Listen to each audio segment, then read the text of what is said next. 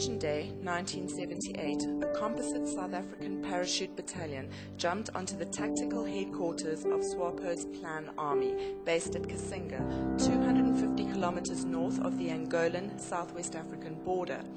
Their objective was to destroy the facility, their logistics, and wipe out a strong concentration of SWAPO guerrillas that had gathered in preparation for a massive incursion into Southwest Africa to disrupt the first democratic elections scheduled for Southwest Africa later that year.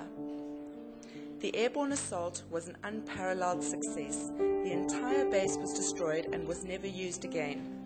However, the attack highlighted many shortcomings, some of which almost led to a disastrous outcome of that battle. Colonel Jan Breytenbach resolved that what was needed as a first priority was a Pathfinder company, a specially trained and manned organization that could be dropped ahead of the main airborne assault to guide aircraft to the correct drop zones and assist paratroopers to quickly concentrate into their tactical formations in order to fully exploit the surprise factor associated with airborne assaults. A Pathfinder is a person who can go ahead of any airborne operation or an air mobile operation. They can scout out the area, gather intelligence, and guide the other troops in. That's what, uh, that's what a Pathfinder's basic role is, to be able to pave the way so that the other people can either airborne drop in or come in through helicopter assault. He's the advance person, the advance team. He's your first eyes on the ground. They're usually also the eyes on the ground on the eyes on the target the whole time. That Pathfinder might stay there after the operation's over with and just gather more intelligence to see what else is coming in.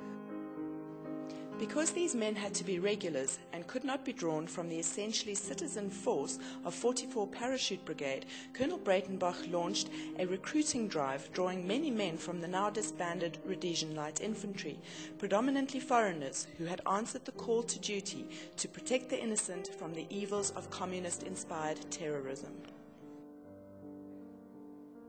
I was always raised to believe that there's right and wrong. There's no in between. So equivocating, being relativistic about it, is a coward's way out. I was never able to test myself living in the United States. I felt like the test that I needed spiritually, morally, and physically had to be on the battlefield. That's why I went. I got back home, the Marine Corps had a lot of racial problems in it. There was DEP and, and all kinds of things and reverse discrimination.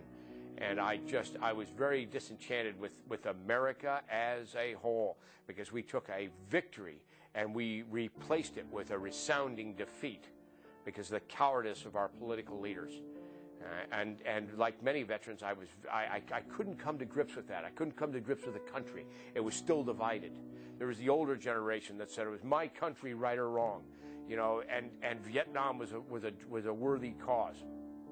And there was the others still running about like idiots and protesting and shouting and things about they didn't know of. I was, uh, came back to San Francisco. I couldn't get hired by the city of San Francisco because I wasn't the right mix of what they were looking for. I tried to get a job as a uh, law enforcement officer, but I was just a Vietnam vet. That's all I was.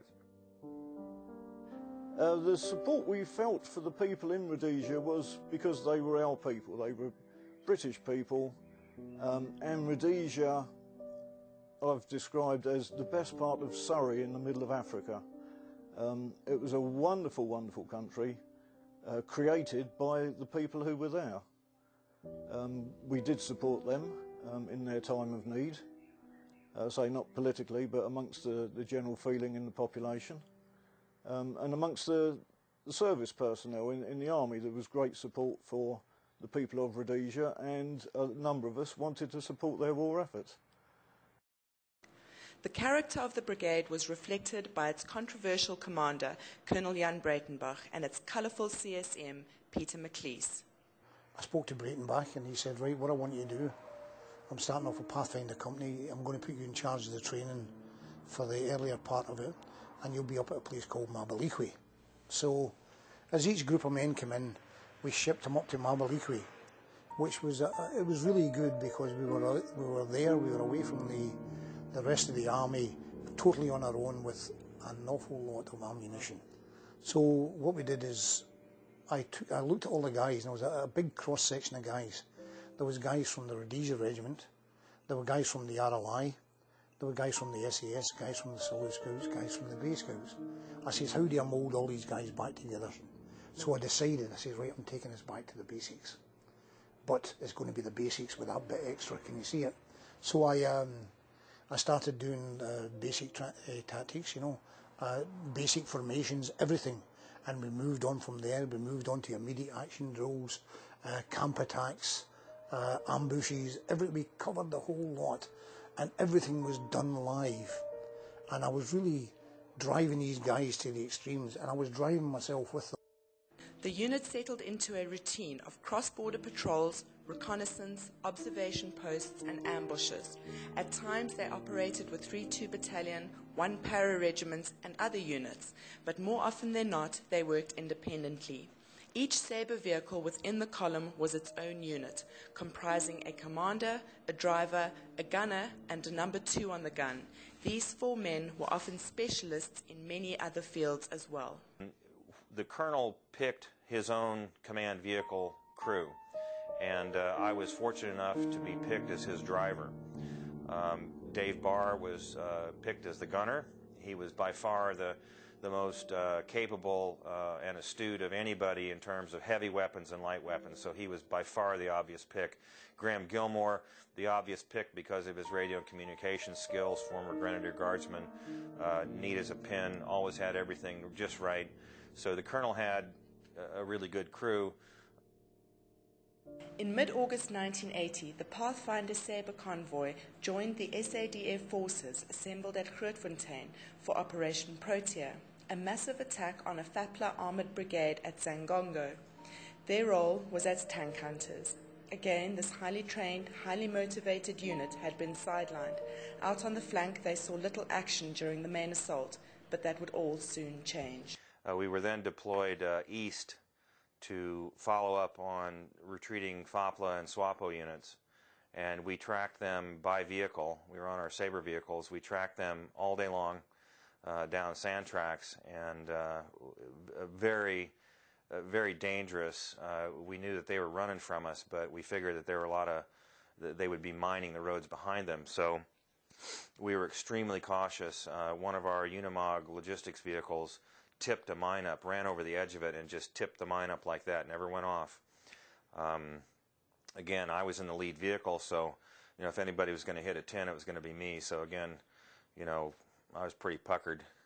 Uh, at, at, at, at, several points, we deployed, and and and uh, two of us went ahead on foot with probes, you know, knives on the end of sticks, trying to probe in the sand because we just really we knew that something was going to happen here. And and you know, it's funny. All that day long, the closer we got to him, the more the more the, the more bad feelings there were. Was just like something something not good is going to happen and and it was all about it was all about mines. It seemed like the whole day was just about you know getting blown up.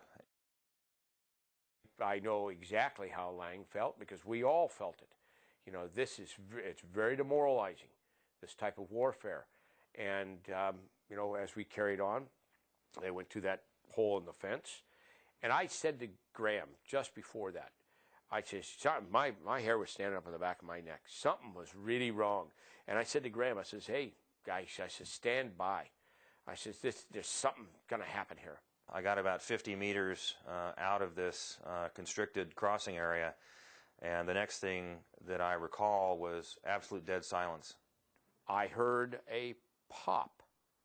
This big ball of flame enveloped the whole vehicle, but I, I particularly remember it coming around me, and I could feel the heat burning the back of my head, and this flame coming around to my eyes and then the flame disappeared, and it was nothing but smoke.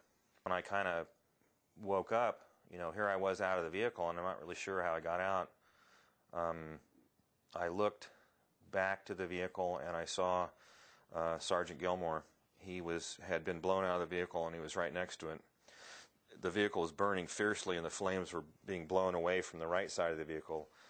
Uh, Graham was on the left or on the right side here, I, and I heard Dave or somebody screaming. It turned out to be Dave, so I ran to to Gilly, and I pulled him away the, from the vehicle because I knew it was going to start to cook off and, and explode. We had a tremendous amount of ammunition. We had anti-tank rockets and mortars and and fi- a ton of 50 cal and grenades and so I knew that uh, things were going to get go from bad to worse pretty quickly. I felt myself being propelled up. Now, whether that happened or not, I couldn't tell you, but I was certainly on my way up because I was looking down at the vehicle. As far as I know, I could have been blown out of my own body. And I thought I was dead. And I, and I, I said to myself, we've hit a mine, I'm dead, and soon I'm going to be standing in front of God and answering for my life. Well, he had other ideas. And I, I, also witnessed the whole vehicle turn into a ball of fire. There were jerry cans of fuel, I believe four or six jerry cans of fuel on the back. They went, this whole thing is just a huge ball of fire. And I just, I felt that heat. I felt the heat of hell itself rising up at me as I fell back into it. And I heard Dave screaming, and Dave was right next to the vehicle where Gilly had been, but on the other side. And I later, I don't know how he'd gotten out there. You know, I, I didn't see the colonel. I later learned that the colonel, Save Dave, had gone in and pulled him out of that burning wreckage of the vehicle. And I felt his hands reach through that fire. I couldn't see him, and how he found me, he says, to this day, I don't know either. And he pulled me over the side. I uh, went over to Dave and I grabbed him and then pulled him away because again things were starting to cook off and I mean this flame was just shooting over his head and uh, it was it was it was so hot when I when I grabbed Dave by his webbing to pull him. It, it burned my hands. That's how hot his clothing was, and I mean, you know, later on, I mean, you could see the burns on him where his webbing was. It was just, you know, he was being cooked, just cooked to death. And uh, and then soon we were were airborne, and I'll never forget the look on the pilot and the crew chief's faces. They were looking at me and giving me the thumbs up. Hang in there, guy. Hang in there you know, and I couldn't help but think about 11 years earlier to this month of August, I was in Vietnam flying medevacs, looking at these guys that were bringing on the helicopters that stepped on booby traps and been mortared, shot up, and, and firefights, and saying the same thing to them. But 11 years later, to the very day, there I am.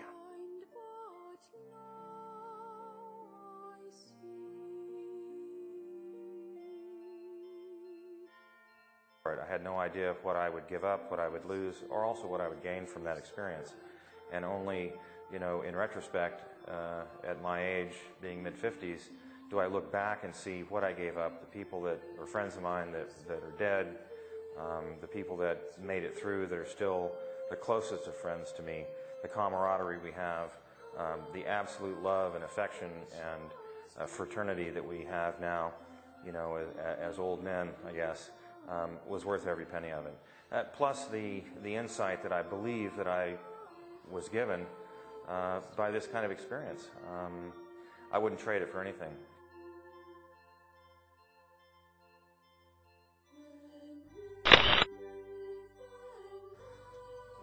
If anything, the, the highlight was the Pathfinders. Yeah. I love them.